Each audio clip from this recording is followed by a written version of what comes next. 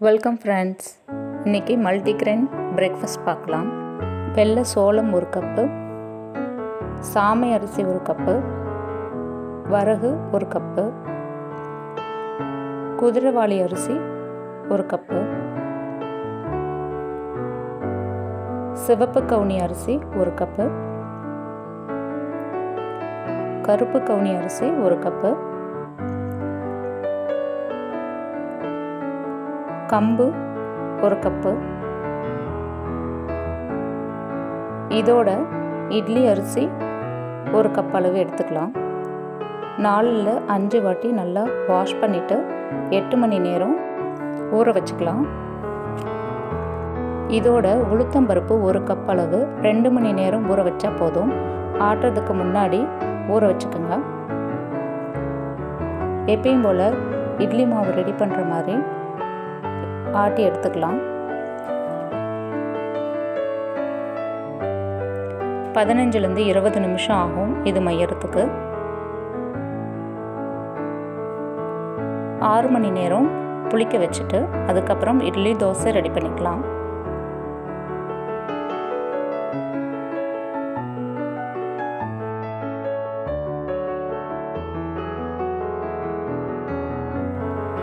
இட்லிக்கு தேவையான ஷைடிஸ் பார்க்கலாம். இன்றைக்கி பொட்டேட்டோ கிரேவி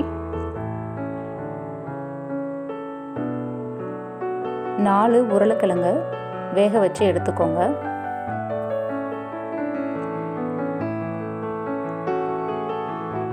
மிக்சி ஜாரில் ஒரு கப்பளவு துருவண தேங்காய் நாலு லவங்கம் ஒரு இன்ச்சு பட்டை ஒரு ஏலக்காய் ஹாஃப் டீஸ்பூன் சோம்பு ஹாஃப் டீஸ்பூன் சீரகம். இதோட ரெண்டு தக்காளி ரஃப்பாக கட் பண்ணி சேர்த்துக்கலாம். நாலு டேபிள் ஸ்பூன் அளவு பொட்டுக்கடலை சேர்த்துக்கலாம்.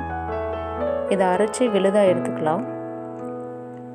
ஒரு கடாயில் ஐம்பது எம்எல் அளவு ஆயில் விட்டுக்கலாம்.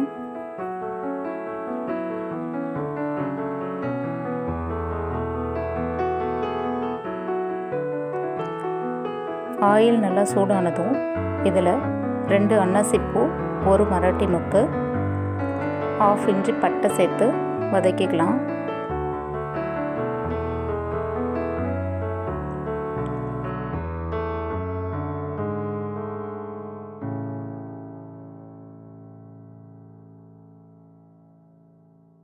இதோட ஒரு கொத்து கருவேப்பிலை நாலு பச்சை மிளகா ஸ்லைஸ் பண்ணதும் போட்டு வதக்கிக்கலாம். இதோட ரெண்டு பெரிய வெங்காயம் ஸ்லைஸ் பண்ணது சேர்த்து வதக்கிக்கலாம். வெங்காயம் அஞ்சு நிமிஷம் போல் வதங்கணும். ரெண்டு tablespoon ginger garlic paste சேர்த்து வதக்கிக்கலாம். பச்சை வாசனை போனதும் ஆஃப் டேபிள் ஸ்பூன் மஞ்சத்தூள் ஒரு டேபிள் ஸ்பூன் மிளகாய்த்தூள் சேர்த்து நல்லா வதக்கிக்கலாம்.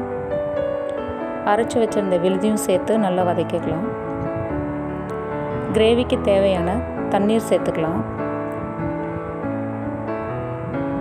கிரேவிக்கு தேவையான உப்பு சேர்த்துக்கலாம். பத்து நிமிஷம் போல் கொதிக்கட்டும்.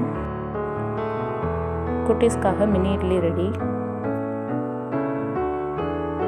பத்து நிமிஷம் போல் நல்லா கொதிச்சு வந்துருச்சு. இதோட வேக வச்ச நாலு உருளைக்கிழங்கும் ரஃப்பாக மேஷ் பண்ணி போட்டுக்கலாம். பத்து நிமிஷம் போல் கிரேவி நல்லா கொதிக்கட்டும். சாம்பார் ரெடி ஹெல்த்தியான multigrain idli and potato gravy ready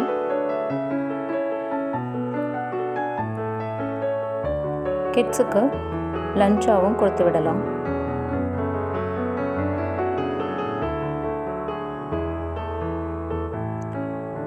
Thanks for watching friends.